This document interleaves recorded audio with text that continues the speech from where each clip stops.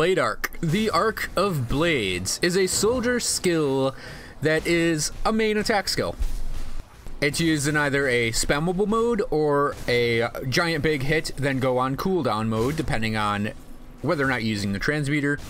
And it's a pretty solid ability as a bleeding ability. So let's just get right into the text box now. Blade Arc, an arced swing that slices through multiple enemies around you, requires a melee weapon.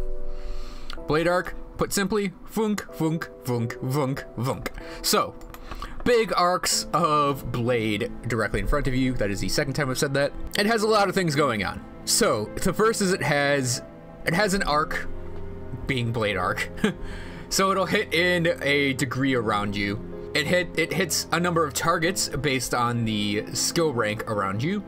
It deals your weapon damage, it deals bleeding damage, and with the cooldown ability, you get a chance to knock down.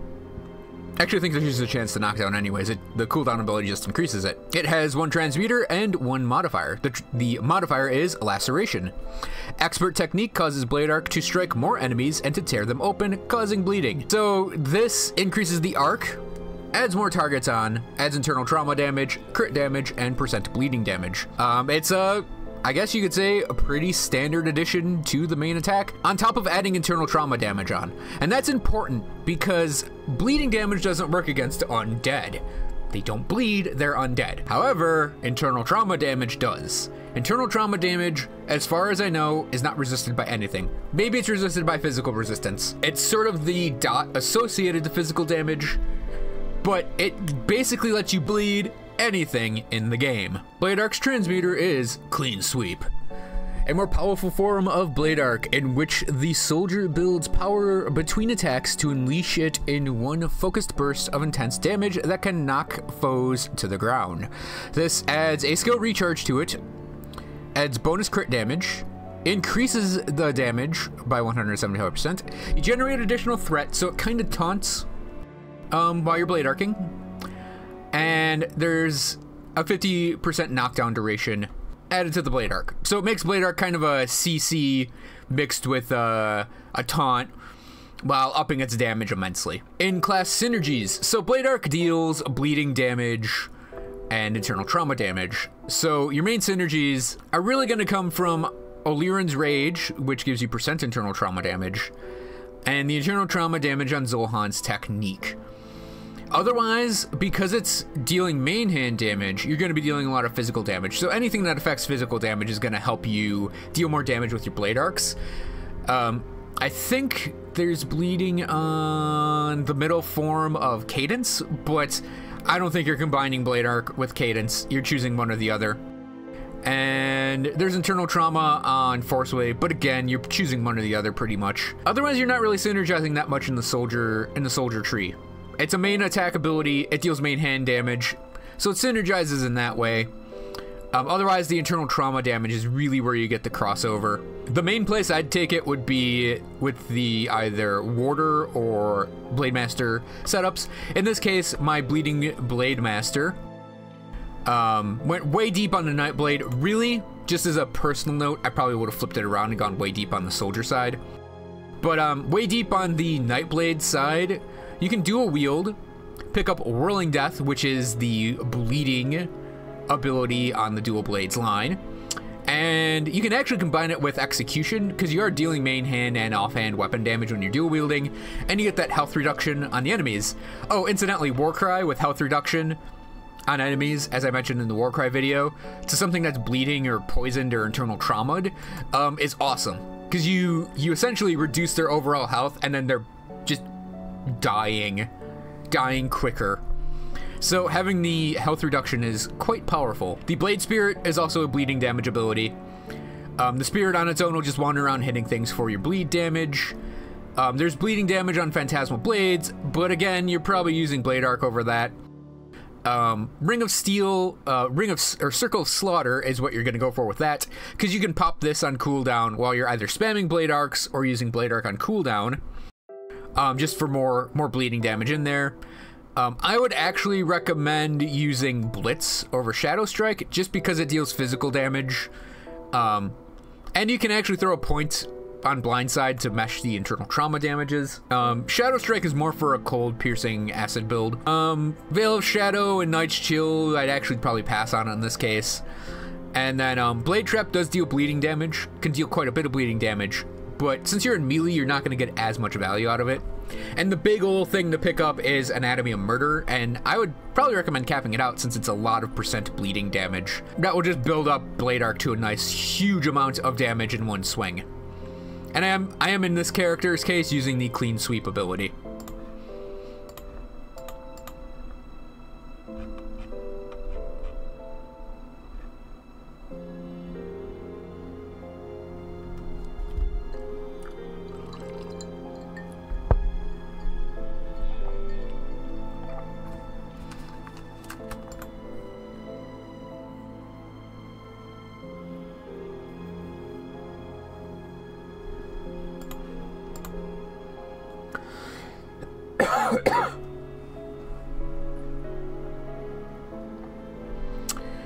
So the other big synergy is with the Warder, you're going to be doing a two-hand build in this case.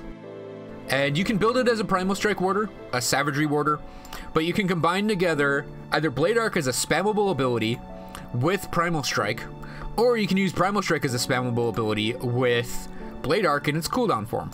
Or you can use Savagery as your spammable ability and put both of them in their cooldown forms, and there's a lot of options to go with in that combination of those three abilities.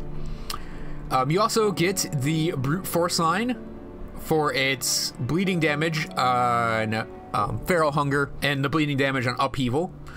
Wendigo Totem, um, it doesn't deal bleeding damage on its first part, but the Blood Pact does deal bleeding damage. Er, yeah, it deals bleeding damage. Um, and this will also keep you alive. It's a good little bit of healing while you're sitting there arcing through enemies. I mentioned Primal Strike, its main ability doesn't have it, Torrent doesn't have it, but Storm Surge does.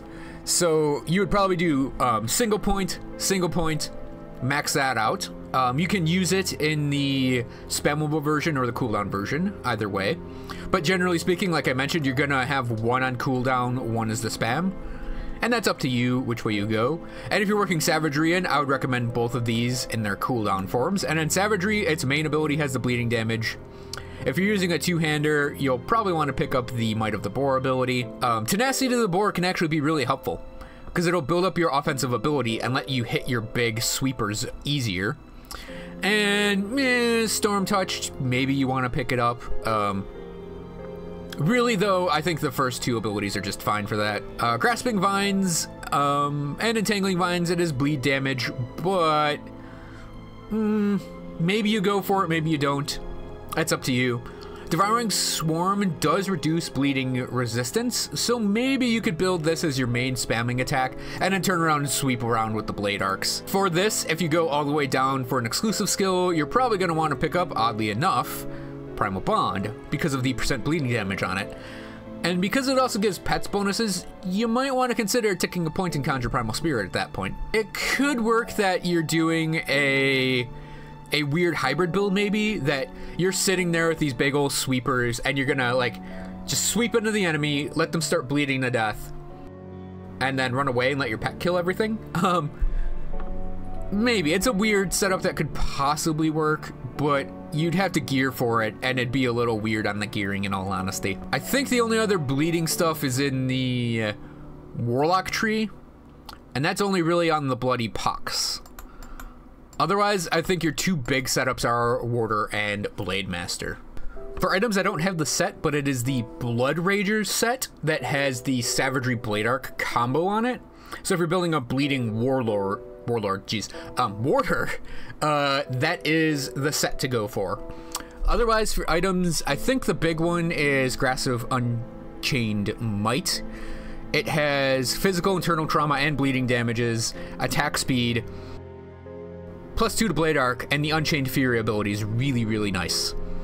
Yeah, you lose defensive ability, but it's a tiny amount of defensive ability for a nice amount of offensive ability gain and attack speed gain. Otherwise, just just put in some uh, put in bleed damage things. I mean, there are more items that support uh, Blade Arc, but that is the main item to me that you go for. And you can run Blade Arc um, with one weapon and a shield, uh, dual wielding like this, or with a two hander. All are legitimate options for for running a bleed based blade arc character. Um, you'll build them a little differently, but for the most part, they all build the same.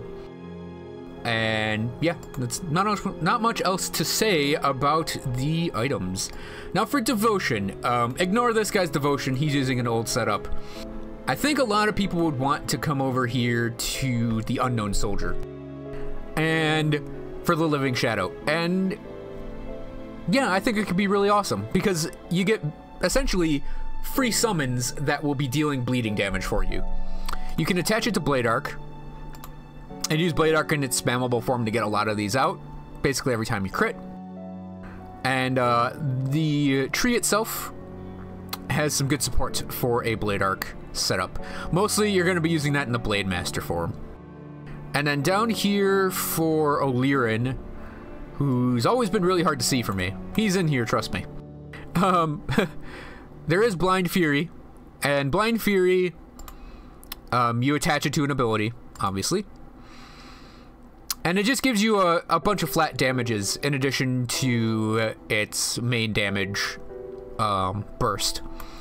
I don't know if I'm actually going to go for Oleron for this particular character setup. I don't think I've ever seen anyone say, oh, it's a must pick, but uh, I might. I don't know, up in the air on that. You could also go for um, Mogdrogen the Wolf. It's all about that bleeding damage, and you reduce the target's defensive ability, which is pretty solid. The tree itself gives you um, a lot of bleeding damage and some nice resistances. The Rend ability on the Huntress, also a bleed damage based thing, and it reduces the target's bleeding resistance. So I think these two together could be something really nice.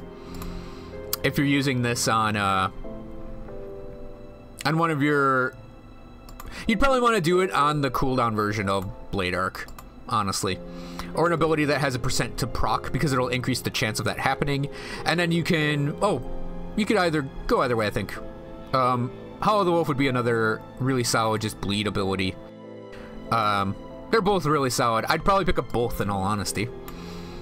And that's probably what I'm going to go for for this character's devotion setup. It's just getting to that requires going through some not bleeding based things, which is a little annoying sometimes. But yeah, there's some internal trauma damage stuff in the uh, the hammer and anvil here. And your Falcon Swoop ability is your sort of first bleed ability you get through the Ascendant line. And yeah, I'd put that on. I just put that on one of the things as well. Um, I wouldn't make it my main attack ability though. I'd probably attach it to something on cooldown to get it to proc when that thing pops. Oh, uh, Assassin's Mark, probably a good thing to pick up as well. And I think this character is going to go through Assassin's Mark. Blades of Wrath could be really good, which is a burst of blades around you. It's one of those, I think, um, you'll see the Bloodbriar use it, I think. Old Bloodbriar. It's That's the animation for it. It's like the, the tiny needles that nova out from the, from the character. If you're using swords, Blades of Nadaan can be really helpful as well. If you're using a shield, you're probably going to want to come up to here.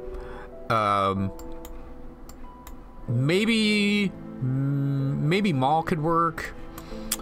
Um, yeah, if you have a shield, the hammer or the anvil works. Um, yeah. Oh, yeah, uh, trample works as well if you have a shield. Two solid shield abilities right there. There are a lot of options, like I said, to go two-hander, dual wielding, or a shield. Um, I don't really think there's anything else. I wouldn't go up here for the defensive stuff. I'd mostly go DPSy on this character. Because this character, the whole point to, to bleeds and the poisons to me, just the dot builds, is to whack the enemy once for a lot of whatever that damage is, and then run away. because you can just leave them to die. And then run away and whack the next group of enemies. Um, and then repeat as needed. But uh, yeah, you're mostly going the Ascendant um, Eldritch route maybe up to law as well. So probably, yeah, basically whatever these three are. Er, no, that's chaos. Crap. Oh, right. Um, I will point out because um, you're going to be swinging weapons that the Revenant might actually be a nice choice as well because you'll get the uh, two attack damage converted to health nodes. And some attack speed nodes. Probably would skip on the ability though. And I don't think... Is there anything else that bleeds? Vitality damage, Chaos Fire, Fire, Pet Thing, those two don't. Does this guy do it? Oh yeah. If you got an axe, you can actually go and pick up the Berserker. And this might be an interesting... Okay, so if you're using an axe, it might be interesting to go Ascendant and Eldritch. Then come over here and pick up the Berserker because it'll unlock Chaos. Then just... That's two, you need 10, or no, you need eight. So yeah, you could go and do, like, say, this Chaos Point, the Berserker, and the Vulture, and then pick up the Revenant. Still while picking up your, your two big constellations down here. So yeah, a lot of options to go for. You can go for Oleron, you can go for the Unknown Soldier, Mogdrogen the Wolf, the Huntress, the Berserker, Blades of Nadaan. Um, you can go defensive, you can go offensive. All in all, it's actually. I'd probably say there's more variation in this devotion. In the devotion setups you can do for this ability, for this damage type for bleeding, than a lot of other characters actually. And that's kind of funny given I only listed two class combos. Alrighty, that is my Blade Arc video. I hope you guys enjoyed this video. It's the first attack ability we're doing from the Soldier Tree. I don't know what I'm going to be doing next because I finished off the Arcanist um, and we're going into sort of abilities that I may not have a build for. So it's going to be kind of interesting to make these going forward. And I'm probably just going to check off all the abilities I have builds for because it's just that much easier. And then go back and like redo some characters to just make specific builds and then run them out in the field for some footage. But uh but anyways, thanks for watching everyone. I hope you guys enjoyed this video. And I'll see you guys next time for another Grim Dawn skill video guide thing. Anything in the game. Crap. oh, I just ate an oatmeal cookie, and that was a piece of cookie getting caught in my throat. So the other big class synergy is with the Warlock. Or... Er, I'm gonna fucking bash my brains in.